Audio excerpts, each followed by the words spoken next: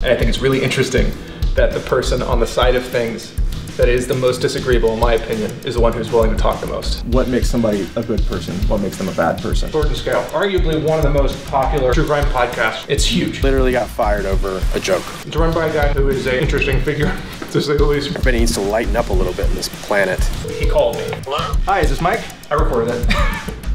Jamie! a very lengthy chronicle of all of the things that he has done to be a dick to the public.